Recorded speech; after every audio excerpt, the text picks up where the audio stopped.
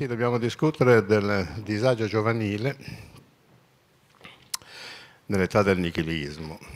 Un problema che mi sono posto nel, 1900, no, nel 2005, quando a Parigi ho conosciuto Miguel Benassayag, che aveva scritto un libro, a mio parere, molto importante, che siamo riusciti a tradurre in italiano con la Feltrinelli, intitolato L'epoca delle passioni tristi. Ben Sayag ha detto che i giovani stanno male non per, ragio- per ragioni psicologiche, tutti quanti noi nell'adolescenza eh, siamo stati male in qualche maniera per ragioni psicologiche, nel senso che l'adolescenza è caratterizzata da un'intensità massima di pulsioni erotico-sessuali e i lobi frontali, che sono i lobi della maturità, della razionalità, arrivano a maturazione a 20 anni.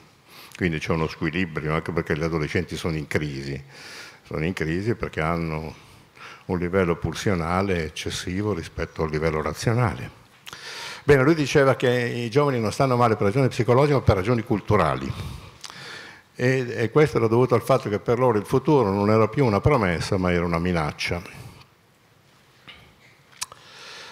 Ecco, io non so se per loro è una minaccia, certamente il futuro è imprevedibile e quando è imprevedibile il futuro non retroagisce come motivazione. Perché devo lavorare, perché devo studiare, se eh, non c'è niente davanti a me che opera da incentivo.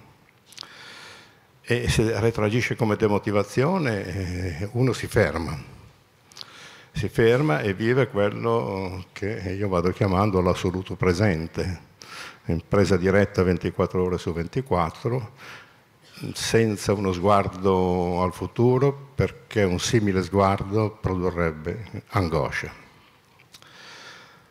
Mm, ho detto, vabbè, forse non è una minaccia, però è imprevedibile, questa imprevedibilità è dovuta ad una uh, situazione che si è venuta a creare e che io ho battezzato età del nichilismo. Età del nichilismo. Mm. Nichilismo è una parola inventata da un russo, Turganoviev, a metà dell'Ottocento, ma è stata sistemata e definita con estrema chiarezza da Nietzsche, il quale definisce il nichilismo con tre proposizioni molto rigorose. Manca lo scopo, manca la risposta al perché tutti i valori si svalutano. Dunque che i valori si svalutano non è una cosa interessante, nel senso che la storia va avanti per svalutazione e rivalutazione di valori. Innanzitutto i valori non sono entità metafisico-teologiche che scendono sulla società. I valori sono dei coefficienti sociali con cui una società decide, che una società decide di assumere eh, in quanto li ritiene i, i migliori per ridurre la conflittualità, niente di più, niente di meno. Prima della rivoluzione francese la società era organizzata secondo valori gerarchici, dopo la rivoluzione francese si è organizzata secondo valori di uguaglianza, è cambiato tutto, ma non è finita la storia. Se i valori non trasmutassero noi saremmo ancora all'età dei babilonesi.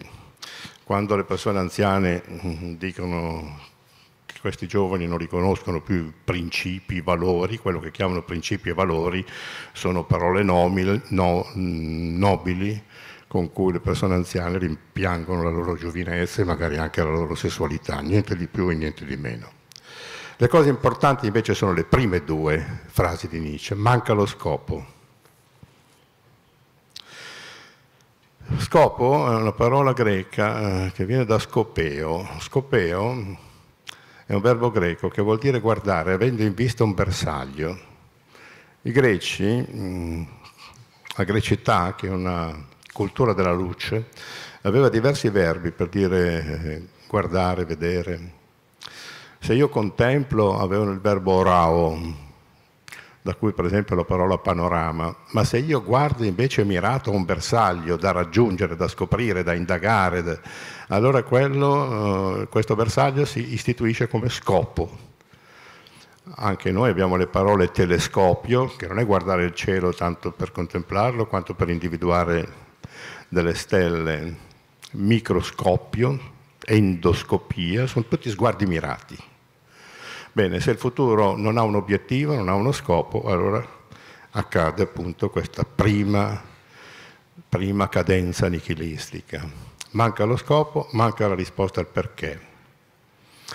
Perché mi devo impegnare nella vita se niente mi motiva? Perché devo stare al mondo? Qui entriamo in una situazione un pochino più pesante, dimenticando, trascurando o non considerando che in Italia si suicidano 400 giovani all'anno, che non è una cifretta da niente, perché è qualcosa di, più, di, un, di più di uno al giorno. Due mesi fa sono stato invitato da una clinica psichiatrica di, di Locarno a parlare del disagio giovanile, ho chiesto loro perché e mi hanno risposto perché il Canton Ticino ha superato la Svezia, il Giappone e la Corea del Sud in termini di suicidi giovanili. Il Canton Ticino è qua dietro. Eh? Ecco, qui allora ci sono delle grosse responsabilità e della famiglia e della scuola. La famiglia che si è mal adattata a questo radicale cambiamento del mondo e la scuola. Ma cominciamo dalla famiglia. I giovani di oggi sono persone che un certo giorno sono nate e come tutti quelli che nascono, nei primi sei anni di vita, come dice Freud, devono formarsi le mappe cognitive e le mappe emotive. Freud dice che si formano nei primi sei anni di vita in maniera definitiva. Cos'è una mappa cognitiva? Il modo con cui io conosco il mondo Cos'è una mappa emotiva? Il modo con cui risuona dentro di me, risuonano dentro di me gli eventi del mondo. Queste mappe si istituiscono nei primi sei anni di vita, diceva Freud, oggi le neuroscienze sono un pochino più severe e dicono che si formano definitivamente nei primi tre anni di vita. Che succede? Si ha cura di questi bambini mentre si formano le mappe emotive? Oppure no? La nostra società fa sì che i genitori devono lavorare entrambi perché altrimenti la famiglia non sta in piedi per ragioni economiche. E allora può darsi che se questo è il sistema economico e sociologico con cui la nostra società si è strutturata, forse non siamo più in grado di stare attenti ai bambini. I bambini fanno vedere come sono le loro mappe, lo fanno vedere per esempio nei disegni e quando presentano i disegni alla mamma, la mamma dice sì adesso però devo farti mangiare, te li guardo domani, domani vuol dire mai. Il che determina una sorta di frustrazione nel bambino, una perdita di autostima, un'inclinatura della propria identità, perché l'identità, dovete sapere, non è un dato che noi abbiamo per il fatto che siamo al mondo. L'identità è un fatto psichico, è il, è il prodotto di una relazione sociale io non ho un'identità al di fuori di quelli che me la riconoscono. Se la mamma dice al suo bambino che è bravo e la maestra dice che è intelligente, il bambino si fa un'identità positiva. Se la mamma gli dice che, al suo bambino che non è bravo e la maestra gli dice che è un cretino, si forma un'identità negativa. L'identità è un fatto sociale, non è un fatto naturale. E allora bisogna stare attenti a non incrinare l'identità dei bambini. Poi i bambini, mh, mm, che fanno i bambini? Eh, hanno, eh, a un certo punto della loro età incominciano a costruire delle relazioni causali, perché i bambini nascono completamente folli, acquistano la ragione gradatamente. E che siano completamente folli è che se uno della mia età si comportasse come un bambino che passa dal riso al pianto e quando prende in mano un bicchiere non si sa che destinazione ha oltre a quello di bere, mi porterebbero subito in manicomio. I bambini sono folli e acquistano gradatamente la ragione. Uno dei meccanismi attraverso cui acquistano la ragione è l'acquisizione del principio di causalità. Principio di causalità è il principio di non contraddizione. Prima di essere dei delle espressioni logiche sono delle espressioni antropologiche. L'uomo nascendo in un contesto, i popoli primitivi, e torniamo indietro proprio all'origine del tempo, per poter eh, riuscire a sopravvivere, hanno dovuto stabilire il significato univoco delle cose e soprattutto il nesso causale tra le cose. Allora, quando il principio di non contraddizione dice il bicchiere il bicchiere e non altro, non è una verità, perché il bicchiere può essere usato per bere, ma può essere anche usato per picchiarlo in testa al proprio fratellino, allora diventa un'arma impropria. Quindi non è vero che le cose si rispondono alle regole della ragione. Però il principio di non contraddizione è utile in maniera tale che quando il bambino prende in mano un bicchiere, perché le mamme gli sono intorno? Perché non si sa l'uso che se ne fa, gli cambia significato di volta in volta quando ha in mano un pennarello, un po' disegna, poi dopo se lo mette in bocca il pennarello acquista un altro significato che è quello di biberon, poi glielo caccia nell'occhio suo fratello e diventa anche quella una, un'arma impropria. Le cose sono polivalenti quanto al loro significato, è solo grazie alla ragione che stabilisce questo e questo e non altro, principio di non contraddizione, riusciamo a convivere, per cui adesso io sto usando il microfono e vedo che nessuno in prima fila si spaventa, perché presume che io lo tratti da microfono questo, non può essere anche un'altra cosa. E poi il principio di causalità, il principio di causalità che riduce l'angoscia dell'imprevedibile. Se io riesco a stabilire un nesso, per esempio, tra il tuono e il fulmine, adesso non so chi arriva prima, non mi ricordo, ma supponiamo che arrivi prima il tuono, quando arriva poi il lampo eh, non mi spavento perché ho fatto un, un rapporto di causalità tra le due cose, se no mi spavento due volte. Come fanno i bambini a stabilire rapporti di causalità? Pongono delle domande che si chiamano perché e incomincia quell'età in cui chiedono il perché di ogni cosa. Sono domande filosofiche, tutte, perché i bambini sono più filosofi degli adulti, anzi sono, addirittura sono filosofi ontologici loro. Gli adulti poi se la dimenticano l'ontologia. E, e queste domande bisogna rispondere, lo so che è difficile, ma bisogna rispondere. Non so, io camminando una volta in via Vittorio Emanuele, in galleria, ho visto due signore ben vestite, una delle quali aveva un bambino a fianco, il bambino un certo punto ha detto alla sua mamma, secondo me Dio non esiste perché non ha la mamma. E vedo che voi ridete, la stessa cosa hanno fatto le mamme. Malissimo, la mamma deve rispondere a questa domanda, perché è la ricerca del principio di causalità. Se tu ridi non gli rispondi, il principio di causalità stenta a farsi strada in quella testa. Il ragionamento era perfetto. Se io sono al mondo perché c'è una mamma, come fa a esistere Dio se la mamma non ce l'ha? È difficile rispondere, sì, sono in grado di rispondere, no, però bisogna provarci. Bisogna assecondare il domandare infantile, bisogna stare attento a cosa chiedono e riuscire a rispondere. Poi i bambini vanno a scuola, quando vanno a scuola incomincia quella cosa terrificante dei genitori che parlano male delle maestre. Ma stiamo scherzando. Il bambino quando va a scuola differenzia la sua affettività Attenzione bene questo. Prima c'è un'affettività rivolta a tutto il mondo genitoriale, poi la indirizza anche alle maestre. Eh? Se i genitori parlano bene della maestra, queste due affettività riescono a convivere con la serenità del bambino. Ma se il genitore parla male della maestra perché si ritiene superiore alla maestra, malissimo, perché le maestre sono gli insegnanti più degni che ci sono nell'ordine scolastico italiano, e non lo dico io, a Venezia c'è stato un un bel congresso internazionale in cui hanno fatto vedere che per esempio la scuola elementare in Italia è al sesto posto nel mondo, mentre la prima università italiana era al 187 posto. Quindi bisognerebbe dare lo stipendio dei professori universitari alle maestre e quello delle maestre ai professori universitari, anche perché le maestre fanno un lavoro che non è solo mentale, è anche affettivo si danno del tu, si abbracciano, si baciano, la mia maestra, ogni tanto devono anche pulire il sedere dei bambini che ancora sono incontinenti, è un lavoro tremendo.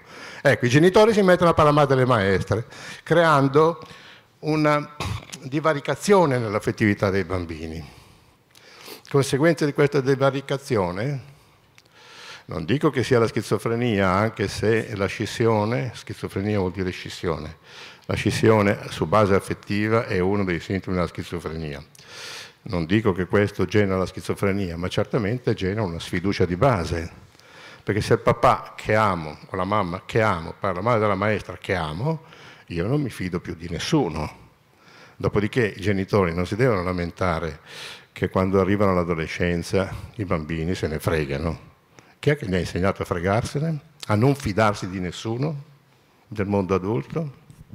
Questi ragazzi che mi hanno scritto, ho chiesto loro perché scrivete a me e queste cose non le dite ai vostri genitori, ai vostri insegnanti.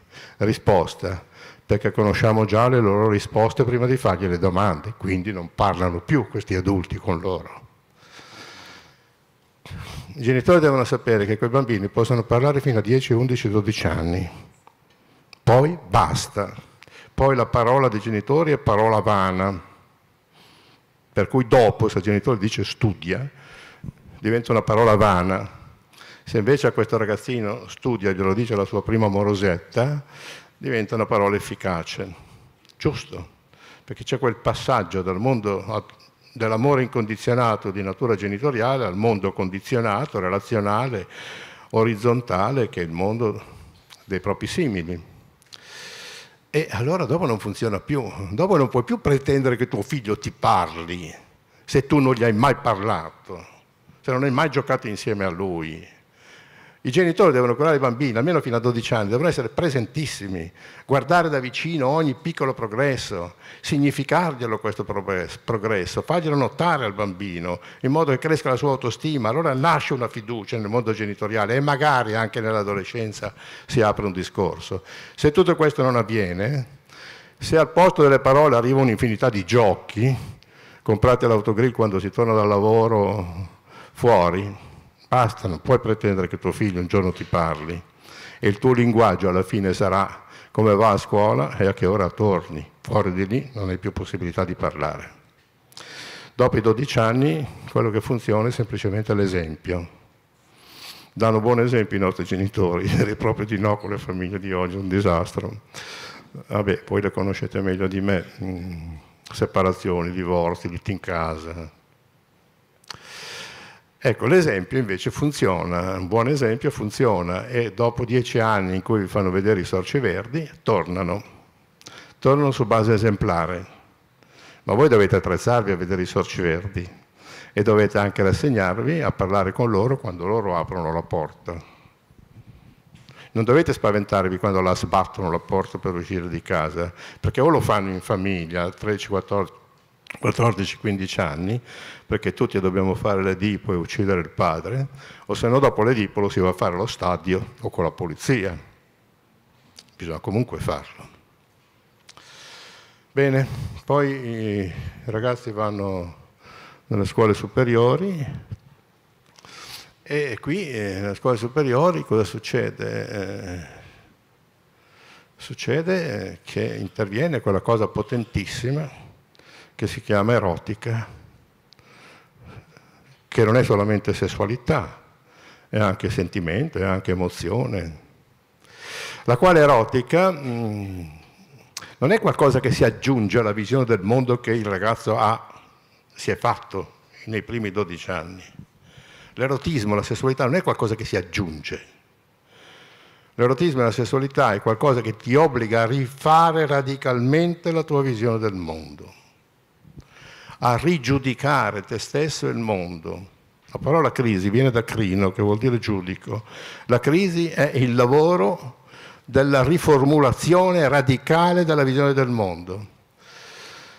Freud, in un articolo del 1909 dedicato al ginnasiale, dice che la scuola deve fare qualcosa di meglio che indurre i giovani al suicidio. Si vede che già allora le cose andavano così che ridurre le cose al suicidio. E, ehm, perché dice che il lavoro psichico di un ragazzo che avviene in un ragazzo a sua stessa insaputa, non è cosciente il ragazzo di essere costretto a fare questa trasformazione, la sta facendo, è così faticoso, dice Freud, che la scuola non deve essere l'ultima prova della vita, ma semplicemente un gioco di vita. Gioco non vuol dire che si deve giocare non significa che si deve andare a mangiare la pizza con gli studenti, mai per favore, mai, perché un professore che va a mangiare la pizza con gli studenti non è più Dio. Tutti sappiamo che il successo di Dio che nessuno l'ha mai visto, il giorno che vai a tavola con loro sei uno qualsiasi. E poi, mm, e poi eh, questa, mm, eh, i giovani cercano l'autorità e non state a credere, la vogliono perché si sentono insicuri, vogliono affidarsi a qualcuno, vogliono avere un modello, però questa autorità deve essere autorevole, deve essere qualcosa di significativo. Un gioco di vita significa che i giochi hanno delle regole e le regole vanno osservate, ma queste regole diventano significative e rassicuranti alla sola condizione che vengano proposte in un contesto dove chi le propone ha acquisito una certa significatività rispetto a questi ragazzi. E qui arriviamo al puntum dolens. Se i ragazzi si trovano in condizioni erotico-emozionali, affettive, bisogna andare a prenderli là dove sono e se sono là bisogna arrivare là. I professori devono arrivare là. Non uh, introducendo le ore di educazione sessuale, che i ragazzi ne sanno meglio dei professori. No, bisogna proprio beccarli a livello erotico, cioè entrare nel loro impianto affettivo, nel loro impianto emozionale. Bisogna prenderli lì, dove sono. Non sono da un'altra parte. Queste cose non le dico io, le dice Platone per primo. Platone dice che non si può imparare se prima non c'è una dimensione erotica, ta erotica come condizione fondamentale dell'insegnamento e dell'acquisizione del sapere. E anche filosofia è una sofia, è un sapere che si acquisisce attraverso la filia, attraverso una condizione di amicizia, di amore. E di amore Eros, dice Platone, è filosofo. Eh? Non si entra, eh, anche la cultura cristiana, per quanto severa, eh, con Paolo di Tarso dice non entrato in veritatem nisi per caritatem, che tradotto un po' laicamente non entri nel sapere se non attraverso l'amore. E, e, i professori amano i loro studenti o hanno semplicemente paura dei loro studenti? Non lo so. Questo cosa comporta? Comporta che i professori, purtroppo lo so che qui i professori mi detestano, mi insultano, mi scrivono di ogni, perché dico che i professori, per fare i professori, devono essere sottoposti a un test di personalità che verifichi, oltre al loro sapere, anche la loro capacità di comunicare e anche la loro capacità di affascinare. Platone dice che si impara per imitazione, per partecipazione, per fascino, io aggiungerei anche per plagio, perché no? Meglio il plagio della demotivazione, eh? Almeno nel plagio hai una direzione, nella, demo, nella, nella demotivazione non sai più che strada prendere. Oh, i professori si arrabbiano se dico queste cose, ma guardate che chiunque va a lavorare, eh, per andare a lavorare deve sostenere dei colloqui. Non credete che i colloqui sia un parlare del più e del meno, i colloqui sono dei veri e propri testi di personalità. Se una casa editrice deve assumere un correttore di bozze, nel colloquio quello che verifica la sua attenzione polarizzata a vedere se questo candidato è un ossessivo grave, perché solo se un ossessivo grave può essere un buon correttore di bozze, perché altrimenti è un disastro. La stessa cosa lì, sei capace di comunicare, sei capace di affascinare, non so, io penso, un corazziere non può fare il corazziere se è alto 1,50, un professore anche se non sa comunicare, non sa affascinare, può fare il professore per 40 anni per motivare classi e classi di studenti. E la, la demotivazione è l'anticamera della depressione e la depressione quando è grave diventa l'anticamera del gesto estremo. Hanno una responsabilità pazzesca questi professori. Bisogna che se ne rendano conto. Fanno i professori senza che nel loro curriculum sia mai stato eh, indicato loro lo studio, per esempio, del, della psicologia dell'età evolutiva. Non ne sanno niente.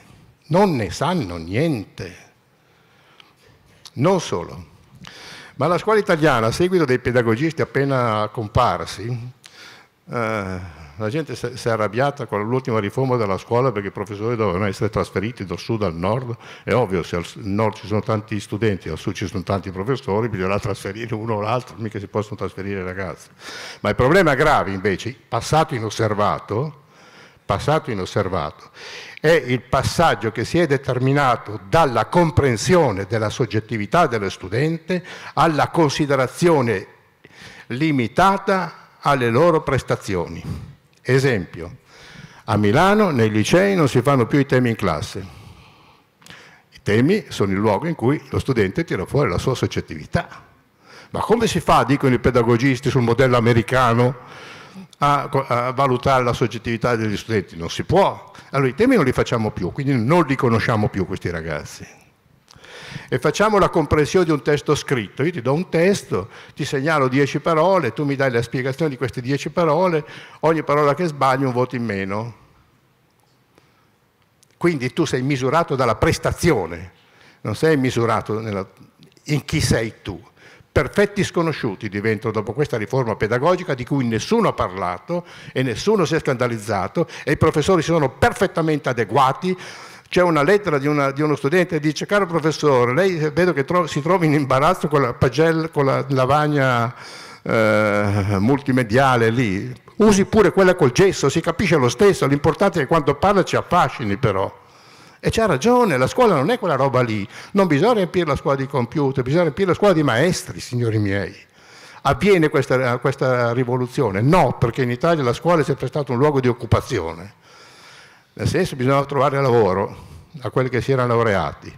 Gli studenti erano l'ultima cosa, la stessa cosa avviene a, a livelli ancora più immorali all'università. Bon, che succede in questa età poi? In questa età succede che bisognerebbe in questa fase passare dall'istruzione all'educazione, che sono due cose radicalmente diverse. Perché l'istruzione è la trasmissione di contenuti mentali da una testa all'altra, da un professore a, a uno studente. L'educazione invece è la cura della sua parte emotiva, sentimentale. Oggi noi soffriamo di ragazzi che hanno degli handicap significativi a livello emozionale e a livello sentimentale. Mi diceva Benasayaga che aveva aperto uno sportello, un filosofo Benasayaga che insieme a Gerasimit aveva aperto uno sportello per il disagio giovanile e alla domanda quando veniva un giovane di che cosa soffre, di che cosa stai male, la risposta era boh, non lo so, però sto male. Quindi non conoscono neanche il nome della sofferenza, tantomeno i percorsi che si possono fare per uscirne fuori.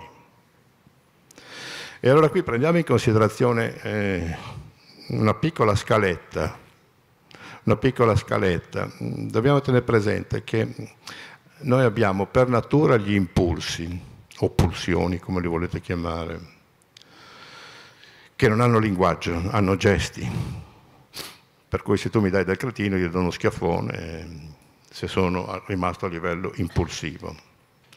Esempio di impulsività e di pulsionalità, di gente rimasta alla pulsionalità, sono i cosiddetti bulli, che fa la scuola con i bulli e li sospende.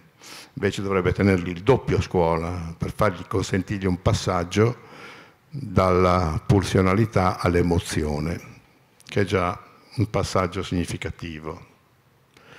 No, la scuola non se ne occupa dei bulli, mette fuori. È come la storia dei pazzi. I pazzi perché venivano messi in manicomio? Mica per curarli quando sono nati i manicomi nell'Ottocento, mica per curarli, ma per difendere la società dai pazzi. E perché vengono buttati fuori i bulli? Per difendere quelli bravi a scuola.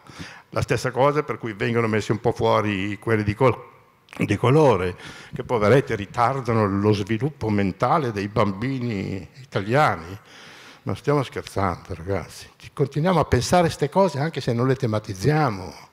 Io ho visto, seguendo i miei nipotini di scuola elementare, che fino, due, fino, alla seconda elementare giocano con tutti, sono anche curiosi, uno ha la faccia nera, gli altri ha la occhia a mandorla, sentono delle storie dei loro paesi che hanno sentito dai genitori rispettivi. Poi cominciano alla terza elementare e cominciano a evitarli, quelli di colore.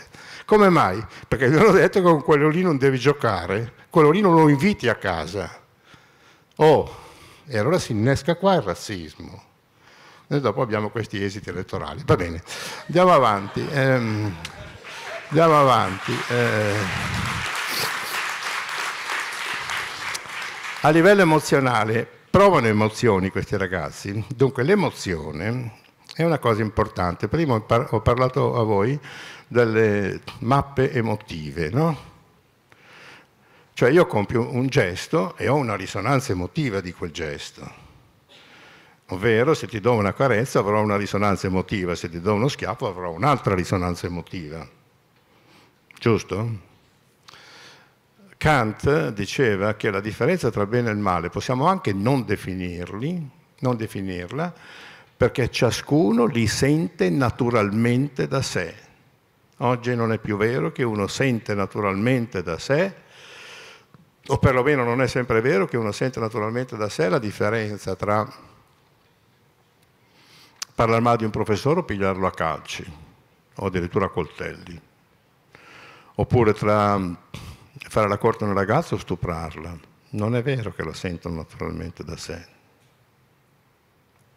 Questo non sentire nell'Ottocento aveva un nome nella psichiatria ottocentesca che era molto più saggia di quella attuale, fatta su base statistica. Mm, la psichiatria ottocentesca aveva coniato il nome di psicopatia, psicoapatia, cioè aveva coniugato un nome in cui diceva che la psiche non registra, è apatica.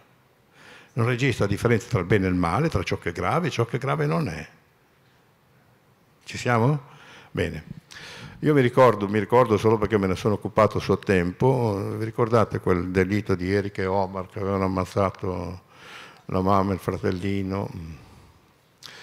Non è questo il momento psicopatico. Il momento psicopatico è subito dopo, quando, dopo aver fatto quel delitto, vanno come ogni giorno al solito bar a bere la solita birra quindi questo comportamento successivo lascia intendere che quel che è successo quel giorno non è dissimile da quel che succedeva nei giorni precedenti. Non hanno capito la differenza. Questa è la psicoapatia. E oggi i giovani sono abbastanza psicoapatici, capiscono poco la differenza. Non dico tra il bene e il male, ma tra ciò che è grave e ciò che grave non è. E allora su questa base tu l'hai perso ragazzo, non c'è niente da fare. Perché se uno non ha un relay interno che gli fa capire la differenza tra, tra, tra stuprare o corteggiare, eh, ormai è disastrato. Io mi ricordo ancora per essermene occupato uh, quando sono andato in carcere a Tortona a intervistare quelli che buttavano i sassi al cavalcavia, alla domanda perché lo facevi, che cosa provavi, la risposta era ma era un gioco, cioè nessuna risonanza dentro di loro. Ora non dico che i nostri giovani sono psicoapatici, ma eh, certamente eh, sono meno, meno sensibili. La psicopatia va montando. Perché monta? Io mi sono fatto un'idea anche di perché. Perché quando i bambini sono piccoli devono fare un'infinità di cose, devono andare a scuola, poi devono imparare l'inglese, poi devono imparare a giocare a pallone, poi devono imparare a sciare, se sono bambine devono suonare il pianoforte, devono andare a danzare e quante cose ancora devono fare. I bambini si devono annoiare anche. La noia è il luogo in cui tu crei, perché è così pesante la noia che ti viene da creare nella noia inventi i giochi e non hai quei giochi che i bambini nei loro compleanni a Natale disfano con una voracità e rapidità e poi buttano là. Ecco, se hanno troppi stimoli i bambini hanno due chance, o vanno in angoscia, devono fare troppe cose, o vanno in angoscia, oppure abbassano la percettività della loro psiche esattamente come fanno i vecchi. I vecchi sanno ancora, molti vecchi sanno camminare, però di fatto non escono di casa, oppure se escono fa sempre lo stesso giretto, perché lì tutti gli stimoli che possono incontrare li conoscono già, ma non si sporgono oltre, perché avrebbero degli stimoli che non riescono a codificare. E la nostra psiche si è fatta che tu sei tranquillo finché hai codificato tutti gli stimoli, se te ne arrivano altri che non riesci a mettere insieme, hai due chance, o vai in angoscia o abbassi la percezione psichica dentro di te e diventi psicoapatico. Prima cosa, tutti quei regali che si danno ai bambini concorrono anche loro alla psicopatia, perché i regali non, non risuonano dentro di loro. Prima di tutto ricevono dei regali che magari non hanno neanche desiderato e volete mettere invece un, un, un, gioco che si inventano loro rispetto a un gioco già confezionato che devono semplicemente usare. Quando eravamo poveri inventavamo dei giochi, prendevamo per esempio i coperchietti delle birre, ci scrivevamo dentro il nome dei corridori e facevamo la gara per vedere chi vinceva il Tour de France con questi tollini e quelle cose lì, siccome le hai fatte tutte, interessano e c'è il momento creativo. Quando invece tu fai dei doni che oltrepassano, che il ragazzo non ha neanche desiderato, doni che a te ti compensano perché hai parlato così poco che ti fai sostituire le parole mancate con i regali che gli fai, no? Guardate quando fate un regalo se non fate questa operazioncina. Ecco, e cosa fai? Che uccidi nei ragazzi il desiderio. Il desiderio si estingue se io ho cose che neppure ho desiderato. E quando tu hai in qualche modo indebolito il desiderio del bambino, non ti devi lamentare che dopo lui non abbia voglia da giovane di cambiare il mondo perché per cambiare il mondo bisogna avere un desiderio di cambiarlo, no? Deleuze, eh, Gilles Deleuze, il filosofo francese, dice che il desiderio è potenzialmente rivoluzionario, è la macchina che ti fa cambiare il mondo e ti fa cambiare la vita, ma se non hai più desideri, dopo avete questi ragazzi, non so, tranquilli, rassegnati, che dormono fino a mezzogiorno, che si drogano, che bevono, che io non credo che facciano queste cose per il piacere che produce loro l'alcol o la droga, io credo che lo facciano per anestetizzarsi, nel senso che se il futuro non mi presenta proprio niente, io non voglio angosciarmi pensando al mio futuro. Mi anestetizzo, mi anestetizzo. O dormendo fino a mezzogiorno, o ubriacandomi o vivendo l'assoluto presente in modo tale che non mi appaia il futuro. Ultimo stadio, ultimo stadio eh, passare pulsio, eh, impulsi o pulsioni, mh, mm, emozioni, le emozioni sono molto importanti, eh? sono a metà strada tra la cultura e la natura, eh? nel senso che possono essere presenti in natura e poi represse per effetto culturale, a secondo di come va la nostra civiltà. E come è educata la nostra civiltà. È chiaro che se ci fanno vedere continuamente eh, con la mentalità di oggi che conta solo la novità, dopo un po' di volte che vediamo le tragedie in Afghanistan o in Iraq non ce ne frega più niente dei morti sepolti, non ci importa più niente, perché la nostra psiche poi non è in grado di emozionarsi se non per le prossimità, per ciò che è vicino, no? Eh? Se muore mia moglie soffrirò come un cane se l'ho amata, se muore il mio vicino gli faccio le condoglianze, se mi dicono che ogni secondo muoiono otto bambini al mondo, io ho un vissuto di impotenza e per non toccare con mano la mia impotenza non ci vado. Purtroppo la nostra psiche ha questo limite.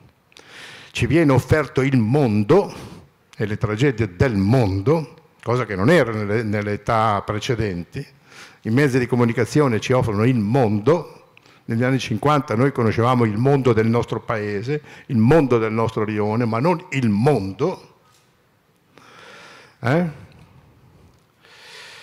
Quando la nostra psiche non è in grado di stare al mondo, perché è in grado di stare solo nel suo ambiente. I tedeschi hanno una parola per dire mondo, Welt, e poi hanno un'altra parola per dire il mondo che la tua psiche abita, che è Umwelt, il mondo circostante, il prossimo, il mondo prossimale. E più mondo eh, globale ci fanno vedere, più riducono la nostra capacità psichica di reagire. Heidegger definisce l'uomo, non lo chiama né, né Mensch né Mann, ma lo chiama in der Welt sein, essere nel mondo. Intendo per mondo appunto l'Umwelt, il mondo circostante. I nostri giovani sono al mondo, io direi che questa frase di Heidegger è molto opportuna, che capovolge eh, l'ordine psichiatrico e l'ordine psicologico, che è un derivato tutto cristiano, secondo cui i processi psichici si svolgono in interiore hominis, mentre la psiche è un rapporto corpo-mondo. Ecco, oggi dei nostri giovani non potremmo dire in der Welt sein, essere nel mondo, dovremmo dire in der Web sein, essere in un mondo virtuale e il mondo reale e parlare col, col, col corpo dell'altro di fronte e incrociare lo sguardo fatto di carne e ossa, tutta questa roba qua? No. Non c'è più, non c'è più. Gunther Anders dice il problema oggi non è tanto di sapere cosa possiamo fare noi con la tecnica, ma che cosa la tecnica può fare di noi. Certamente la tecnica nella, nei processi educativi determina uno sviluppo dell'intelligenza convergente che non serve a niente e una mortificazione dell'intelligenza divergente che invece fa andare avanti la storia. Convergente sono, è quell'intelligenza che risolve i problemi partendo da come il problema è stato impostato. Divergente è invece l'intelligenza che risolve i problemi capovolgendo l'impostazione del problema. Questo cosa vuol dire? Non so, Copernico quando ha stabilito, proviamo a immaginare che non sia la Terra ma sia il Sole il centro dell'universo. Ecco qui che cambia l'impostazione del problema. La storia va avanti per, per intelligenze divergenti, ma se tu frequenti il computer, tu sei all'interno di, di una, del, del modo con cui il problema è stato impostato, che si chiama programma e se lavori all'interno del programma trovi soluzioni all'interno del programma, la tua intelligenza resterà convergente. Convergente è già l'intelligenza che richiede la scuola, perché i creativi vanno male a scuola, no, si sa, disturbano. I creativi hanno un'intelligenza divergente di solito. E, poi, eh, e con l'introduzione dell'informatica, c'è uno sviluppo dell'intelligenza convergente. E guardate che se tutti pensiamo la stessa cosa, e se alla fine sentiamo tutti la stessa cosa, non è una bella prospettiva, eh? anche in, in ordine alla democrazia. Mi raccomando, come dice Nietzsche, quando l'umanità diventa gregge, vuole l'animale capo. Bene, bisogna sviluppare il sentimento nella scuola. Il sentimento non è naturale, sentimento è culturale, i sentimenti si imparano, non sono dati in natura. In natura sono date le pulsioni, sono date le emozioni, ma non i sentimenti. I sentimenti si imparano. Tutte le tribù primitive hanno raccontato dei miti in maniera tale da fare una sorta di descrizione, di scenario dei sentimenti umani, delle passioni umane e dei percorsi che si possono fare per riuscire bene o per riuscire male. Questi miti, a sentire Ernesto De Martino, che è stato un grande antropologo nella seconda metà del Novecento e che faceva i suoi esperimenti sulla popolazione della Basilicata, pensate che negli anni 50 in Basilicata dove ha lavorato De Martino non si conoscevano gli specchi e quando De Martino glieli faceva vedere aveva, eh, chi, chi, chi, si guardava aveva delle crisi psicotiche perché non aveva mai visto la sua faccia, 1950, quindi non nel Medioevo. Bene, eh, cosa succede? Eh, lui dice bisogna che i miti, i racconti facciano quella metastoria per cui io che mi trovo in questa situazione eh, di difficoltà della mia esistenza, di precarietà della mia esistenza, ho dei paradigmi di come si esce. Perché conosco che la mia situazione assomiglia a quella raccontata in quel mito e, da, e così si esce. Un, eh, allora un, la nostra storia personale deve sempre rifarsi una sorta di metastoria la mitologia greca. La mitologia greca era un grandissimo scenario di sentimenti e passioni umane. Eh, Zeus era il potere, eh, non so, eh, Atene l'intelligenza, Afrodite la sessualità, Apollo la bellezza, Ares l'aggressività, Dioniso la follia. Era rappresentato tutto, altro che dei falsi bugiardi. Era un aiuto enorme nella conduzione della propria vita, avere questi modelli, questi miti, come è successo questo in quella storia là, con quel mito, così succede a me e si esce così o ci si danna così. Le nostre nonne facevano questa funzione, le nostre vuol dire le mie, perché non so, quelle di oggi non so, pare si facciano il lifting, passano il loro tempo a fare queste cose, no? Raccontavano storie anche truculente, perché i bambini è bene che conoscano anche il male. Dice Freud, smettiamola di insegnare ai bambini che le cose sono tutte belle, non è vero, non le prepariamo quando incominciano ad affrontare la vita. I bambini devono conoscere anche la morte, anche, anche se hanno 5-6 anni, devono vedere anche i morti. E fanno fatica a interiorizzare questa figura perché non rientra nella loro dimensione. Però devono incominciare a conoscere. C'è anche il male, dice Freud Smettiamo di raccontare le favole di Natale, dice lui, anche se è molto consolante per gli adulti. Conclude. Va bene, i sentimenti si imparano. E adesso noi non possiamo più ricorrere ai miti, abbiamo però quel, quel repertorio pazzesco che è la letteratura. Che cos'è la letteratura in poche parole? È il luogo in cui tu conosci che cos'è l'amore in tutte le sue configurazioni, in tutte le sue declinazioni, che cos'è il dolore, che cos'è la noia, che cos'è il suicidio, che cos'è la disperazione, che cos'è la tragedia. E le impari lì queste cose. Allora nella scuola non bisogna introdurre computer, che tanti ragazzi li sanno maneggiare tranquillamente, non hanno bisogno di andare a scuola per imparare. Sarebbe come se quando sono entrate le macchine, sono state inventate le macchine, la scuola avesse, avesse, dovuto incaricarsi di insegnare la patente. No, imparare la patente da un'altra parte. A scuola, a scuola devi formare i sentimenti, perché l'educazione è questo, si distingue dall'istruzione proprio per la cura dei sentimenti. Devi insegnare queste cose ai ragazzi. E quindi tanta letteratura, tenendo conto che le scuole fino a 18 anni sono tutte scuole di formazione, che si chiami liceo, magistrale, istituto tecnico, non è che devi ancora imparare un mestiere o scuola lavoro, robe di questo genere, impara a essere uomo, perché dopo che sei uomo puoi incominciare a imparare una, una specialità, una formazione, una capacità, una competenza. Ma prima forma l'uomo e l'uomo lo formi se gli crei una dimensione sentimentale dentro sentimento è una facoltà cognitiva, non è solo qualcosa che si sente.